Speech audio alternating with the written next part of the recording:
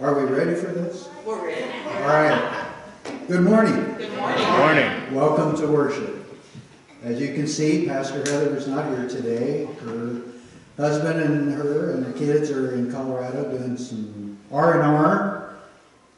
I don't know if she's skiing or not, but probably the kids and Jason are for sure. So, um, thank you for being here today. Um, are there any announcements or prayer requests? I just had one announcement given to me. Does anybody have anything else? Uh, yes, go ahead. Maybe we need a prayer for the have no broken bones in school. So that we don't have any broken Yes. bones, pastor and family. Okay. Uh, Amen.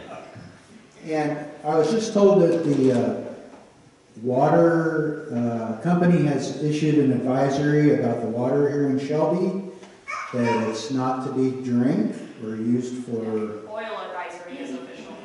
excuse me? Oil advisory is official for. Boil Yeah, advisory, for ten okay. days, I think.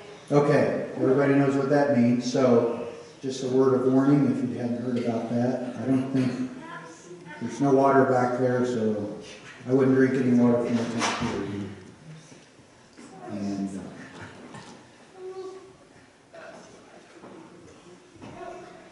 okay, if you would please stand, we'll go through our confession and forgiveness.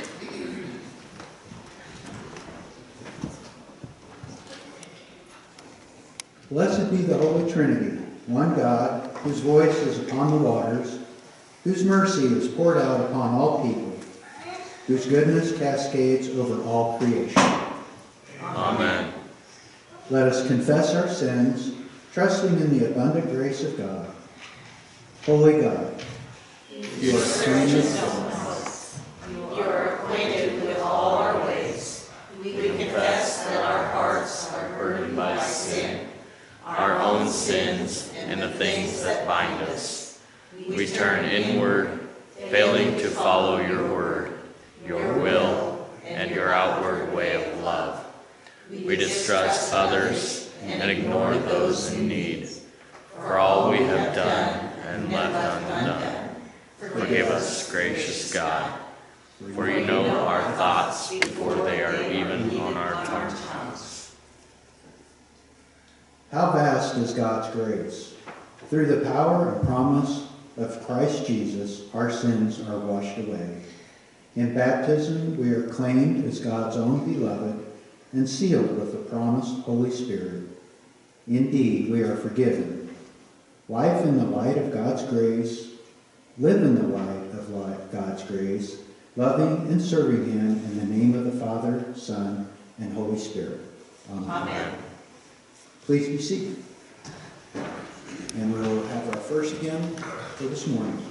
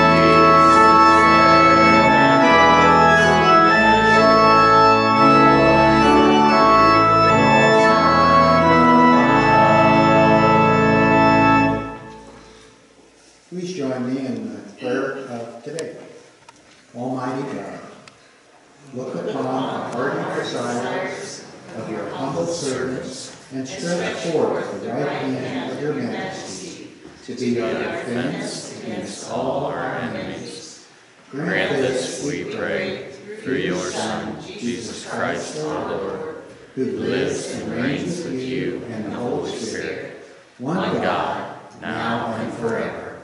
Amen. We'll have the first reading now, please.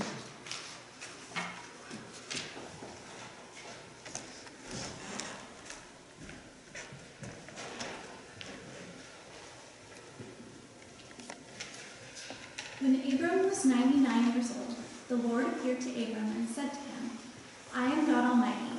Walk before me and be blameless, that I may make my covenant between me and you and may multiply you greatly. Then Abram fell on his face, and God said to him, Behold, my covenant is with you, shall be the father of a multitude of nations. No longer shall your name be Abram, but your name shall be Abraham. For I have made you the father of a multitude of nations. And I will make you exceedingly fruitful, and I will make you into, into nations, and kings shall come from you. And I will establish my covenant between me and you and your offspring after you, throughout their generations for an everlasting covenant, to be God to you and to your offspring after you. And God said to Abraham, As for Sarai your wife, you shall not call her Sarai, but Sarah shall be her name. I will bless her, and moreover, I will give you a son by her. I will bless her, and she shall become nations. Kings of peoples shall come from her. Please read, responsibly Psalm 22, verses 23 to 31. You who fear the Lord, praise him. All you offspring of Jacob, glorify him and stand in awe of him. All you offspring of Israel. For he has not despised And he has not hidden his face from him, but has heard when he cried to him. From you comes my praise in the great congregation. My vows I will perform before those who fear him. The afflicted shall eat and be satisfied. Those who seek him shall praise the Lord. May your hearts live forever. All the ends of the earth shall remember and turn to the Lord, and all the families of the nations shall worship before you. For kingship belongs to the Lord, and he rules over the nations. All the prosperous of the earth eat and worship. Before him shall bow, bow all who go down to the dust, even the one who could not keep himself alive. Posterity shall serve him. It shall be told of the Lord to the coming generation. They shall come and proclaim his righteousness to a people yet unborn, that he has done it. The second reading comes from Romans chapter 5, verses 1 through 11. Therefore, since we have been justified by faith, we have peace with God through our Lord Jesus Christ. Through him we have also obtained access by faith into this grace in which we stand, and we rejoice in hope of the glory of God. Not only that, but we rejoice in our sufferings, knowing that suffering produces endurance, and endurance produces character, and character produces hope. And hope does not put us to shame, because God's love has been poured into our hearts through the Holy Spirit who has been given to us. For while we were still weak, at the right time Christ died for the ungodly. For one will scarcely die for a righteous person, though perhaps for a good person one would dare even to die. But God shows his love for us, in that while we were still sinners, Christ died for us. Since therefore we have now been justified by his blood, much more shall we be saved by him from the wrath of God. For if while we were enemies we were reconciled to God by the death of his Son, much more, now that we are reconciled, shall we be saved by his life. More than that, we also rejoice in God through our Lord Jesus Christ, through whom we have now received reconciliation. This ends today's reading.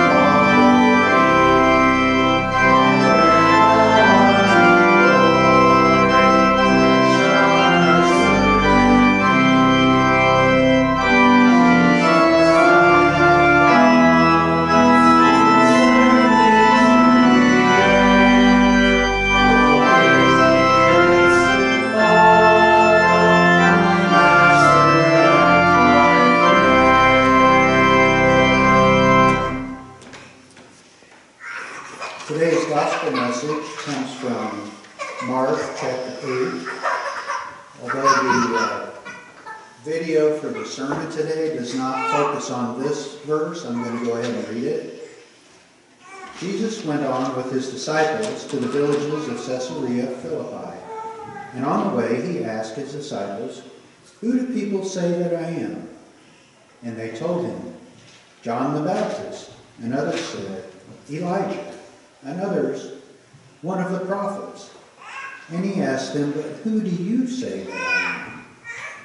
Peter answered him, You are the Christ. And he strictly charged them to tell no one about him. And he began to teach them that the Son of Man must suffer many things and be rejected by the elders and the chief priests and the scribes and be killed. After three days, rise again. And he said this plainly. And Peter took him aside and began to rebuke him. But turning and seeing his disciples, he rebuked Peter and said, Get behind me, Satan, for you are not setting your mind on the things of God, but on the things of man. And calling the crowd to him with his disciples, he said to them, If anyone would come after me, let him deny himself and take up his cross and follow me. For whoever would save his life will lose it, but whoever loses his life for my sake and the gospel's will save it. For what does it profit a man to gain the whole world and forfeit his soul? For what can a man give in return for his soul? For whoever is ashamed of me and my words in this adulterous and sinful generation, of him will the Son of Man also be ashamed when he comes in the glory of his Father with the holy angels. And now we'll watch a video.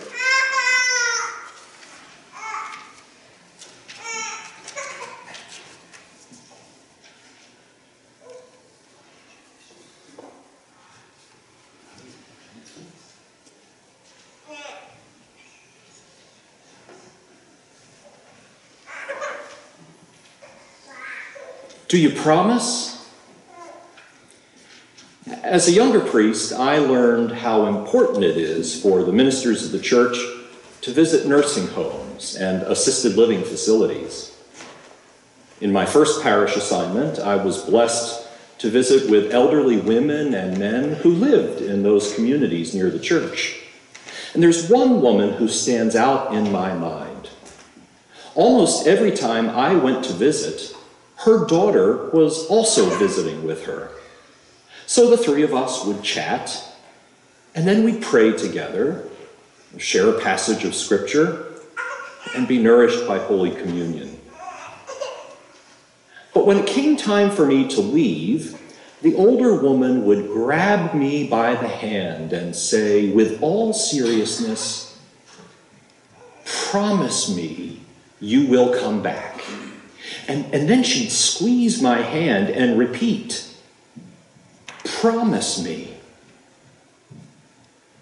Her daughter received the same message as she left.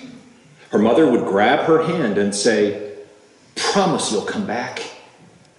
Do you promise? Her daughter later told me why her mother was so insistent on that promise. Turns out that her husband had been killed in World War II. His body was found far from his unit. Somehow he had gotten separated from his fellow soldiers, and his wife, who was now elderly, was always haunted by the thought that her husband had died alone and isolated. And now, years later, she was frightened of the same thing. So she was insistent. Promise me you will come back. Years later, dementia had robbed this woman of her memories. The day before she died, I went to her room and led her family in prayer. And the older woman, she didn't seem to recognize any of us. But as her daughter leaned over to give her mother a kiss, the look of recognition came across her face. She said her daughter's name, and then she declared, You came back just like you promised. Such joy. Joy because of a promise made and a promise kept. Our God is a promise maker and a promise keeper. And that can become the source of our joy. Today in the book of Genesis, we encounter Abram and Sarai. And they have heard powerful promises from God. Their amazing story begins in Genesis chapter 12. The Bible says that Abram, is 75 years old when God directs him to pack up his wife, his family, and his portable possessions and to follow God wherever God leads. And as part of that invitation to leave the familiar to undertake this adventure, God makes an astounding promise to Abram and Sarai. They've never had any children. Yet God promises that they will become the parents of a nation. What a promise. This couple was, was barren up to this point, and yet now God declares, Your descendants will be numerous. We would assume that such a promise would bring them joy. Yet, as we keep reading the book of Genesis, we find that God has to keep repeating this promise to Abram and Sarai. And you may begin to wonder are Abram and Sarai listening? Or in some way, are they like the, the woman in the nursing home, grabbing onto God's hand and insisting, Do you really promise? Do you promise? Now, God makes the promise in chapter 12. And then in chapter 13, God repeats his promise I will make your descendants so numerous that they cannot be counted. Then in chapter 15, God's promise becomes a covenant. And yet, Abram wonders if perhaps, well, maybe one of his servants will inherit everything. So God repeats the promise again your descendants will be numerous like the stars in the sky. God keeps promising, You will have children. I will make this happen. But in chapter 16, Abram and Sarai appear to be, I don't know, dissatisfied with God's timing. You can almost picture them looking up to heaven and saying, we're not getting any younger. Do you know that? True. God has repeated his promise over and over again. But Abram and Sarai decide to take matters into their own hands. Sarai encourages Abram to be intimate with her maidservant Hagar. That's certainly one way to have a child. What could go wrong with this plan? God has to intervene. And once again, God repeats his promise to Abram and Sarai You will have numerous descendants. Which brings us to the passage that we read on this second Sunday of the season of Lent. And if I ask you to guess what God does in this chapter, by now you probably get the right answer. You got it. Once again, God makes a covenant promise to Abram and Sarai. You will have a child. Your descendants will be numerous. I promise. I really promise. The living God makes transformative promises to Abram and Sarai in today's passage. Listen to what God says. God says, I am God Almighty. I will make my covenant with you. This is my covenant.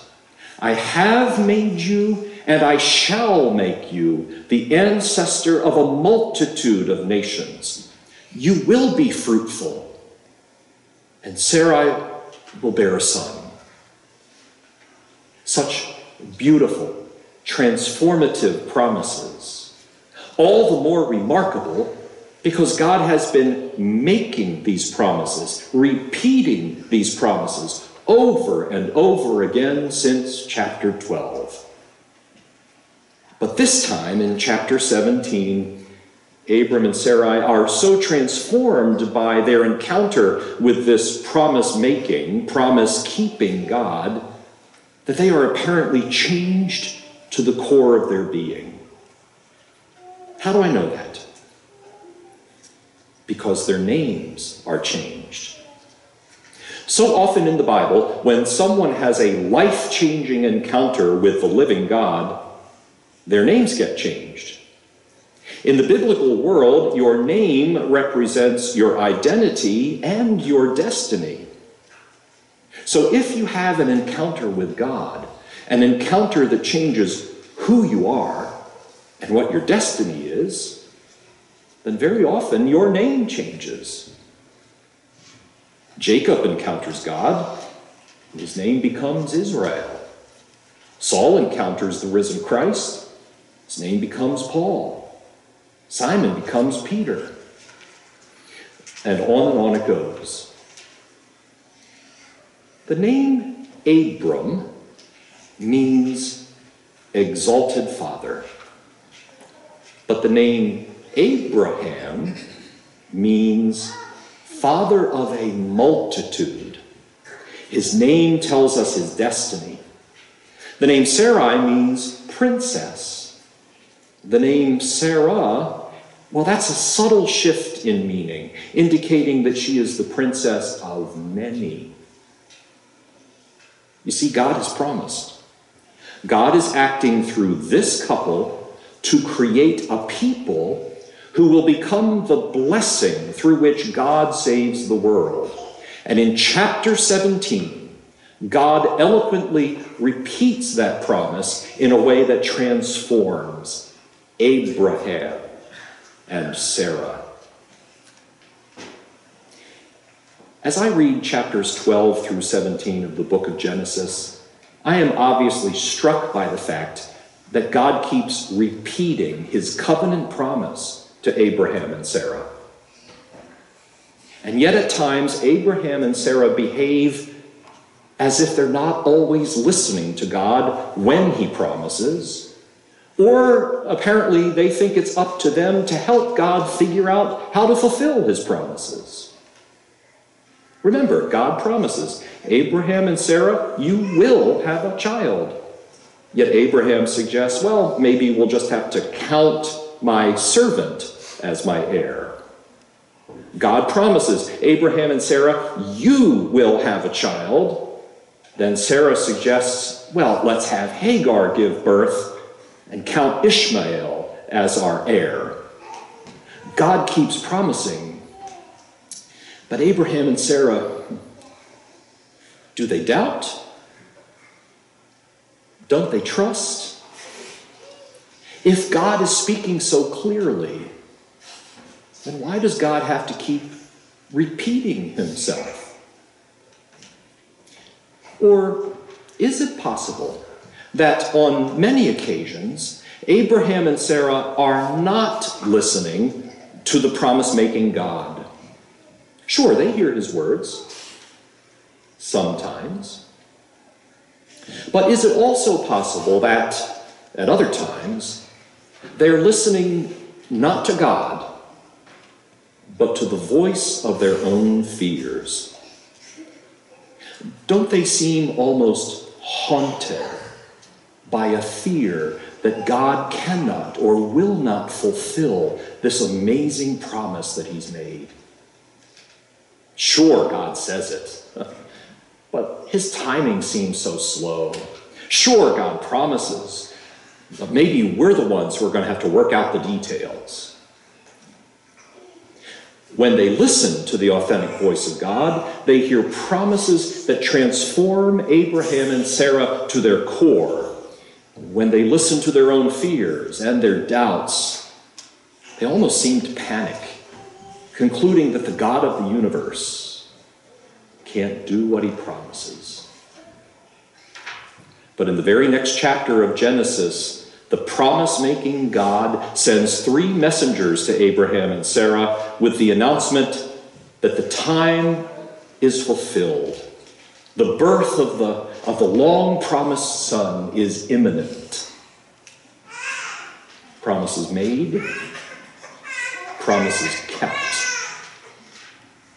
A God who can be trusted. In the fullness of time, God sent his only Son, fulfilling promises God made through the ancient prophets.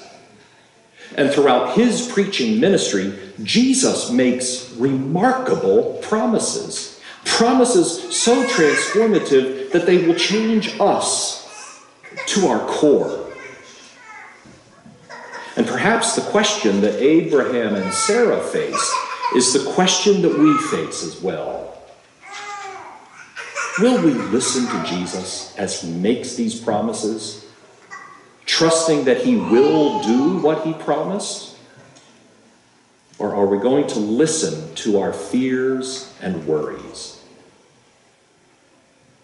Listen to what Jesus said in his preaching. For instance, at one point, Jesus said, Come to me, all you who labor, and I will give you rest. I'll give you rest. A promise made, a promise kept.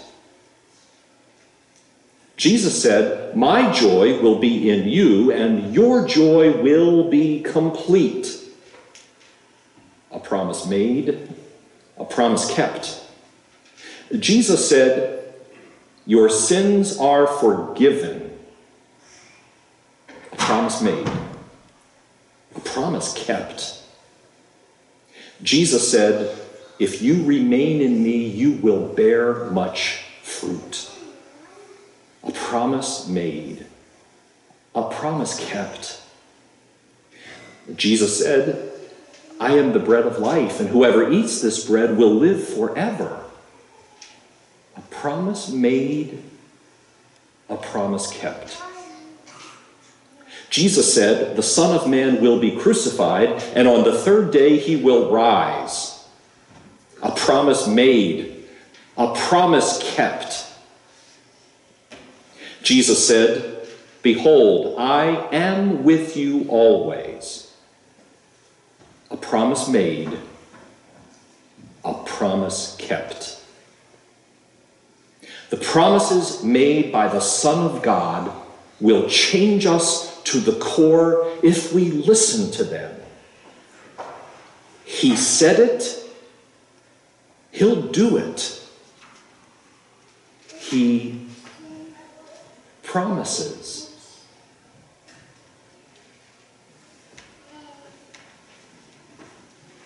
Promise.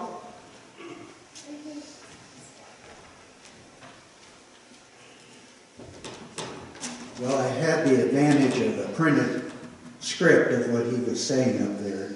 And I gotta tell you, I'm gonna hang on to that because that list of promises at the end, those are great. I'm gonna keep my eye on those because there's times when I forget that God keeps his promises.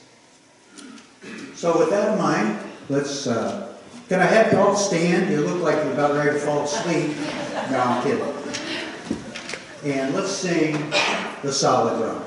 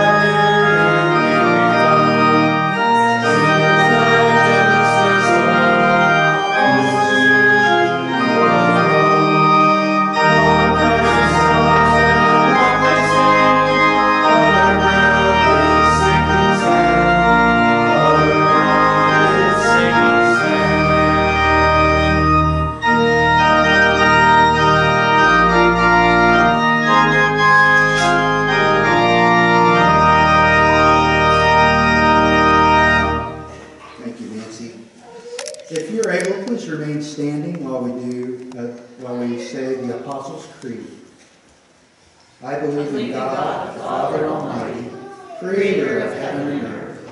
I believe in Jesus Christ, his only Son, our Lord. He was conceived by the power of the Holy Spirit and born of the Virgin Mary. He suffered under Pontius Pilate, was crucified, died, and was buried. He descended into hell. On the third day he rose again. He ascended into heaven and is seated at the right hand of the Father. He will come again to judge the living and the dead. I believe in the Holy Spirit, the Holy Catholic Church, the communion of saints, the forgiveness of sins, the resurrection of the body, and the life everlasting. Amen.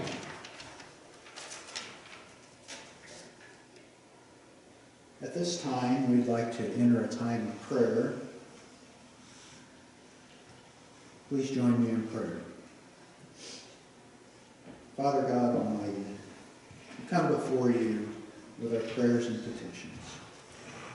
We know that you hear our prayers, and we know that you have our best interest at heart. Lord, we just want to lift up to you Pastor Heather and Jason and Zachary and Noah. Pray that you would help them to have a good time of rest and relaxation and rejuvenation. And Lord, we pray that you would bring them back safely home and uh, return them to us as we continue on.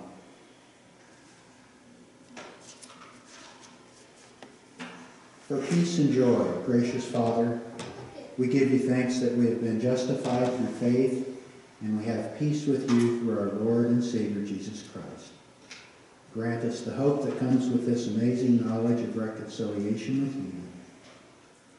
We pray for the world to accept the good news that we are saved by your grace and are set free to live fully for you alone.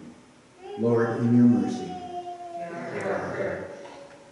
For the sake of the world, merciful God, forgive us, renew us, and heal us for the sake of your beloved Son, our Lord Jesus Christ. May we boldly confess your truth in all the world, so others may come to know you.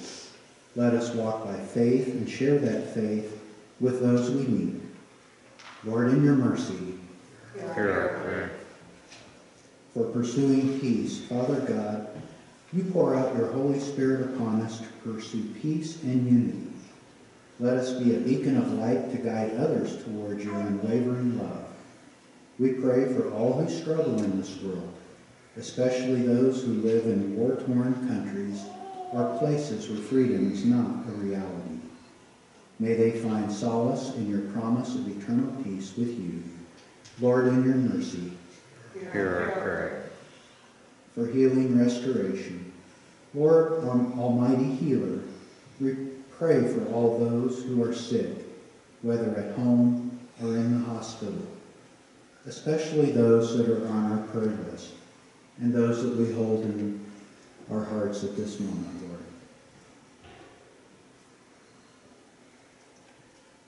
Guide their hearts and minds as they begin the healing process that they are comforted to know you are with them and you know their every need. We pray for their healing restoration to be rooted in their faith and love for you. Lord, in your mercy. Hear our prayer. All these things and whatever else you see that we need, grant, O God, according to your good and gracious will. In Jesus' name we pray. Amen. Amen.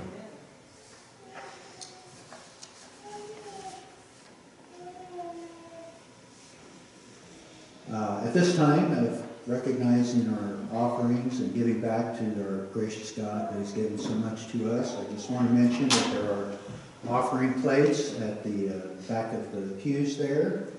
And uh, thank you for your giving, whether it's here or if you choose to uh, give online. All gifts are greatly appreciated. Uh, Our offering prayer, if you would Join me, O God, whose giving knows no ending. We offer up the treasure that you have given to us. We offer up the skills and time that you have graciously given to us. We offer up ourselves in Service and grace. receive these gifts by your grace. Multiply and use them through the power of the Holy Spirit to accomplish Christ's work of love in the world. Amen. If you could remain standing for one more moment, please, uh, let's say the Lord's Prayer together. Our Father, who art in heaven, Hallowed be thy name. Thy kingdom come, thy will be done, on earth as it is in heaven. Give us this day our daily bread, and forgive us our trespasses, as we forgive those who trespass against us. And lead us not into temptation, but deliver us from evil. For thine is the kingdom, and the power, and the glory, forever and ever. Amen. You may be seated. And our final hymn for this morning is Jesus, Keep Me Near the Cross.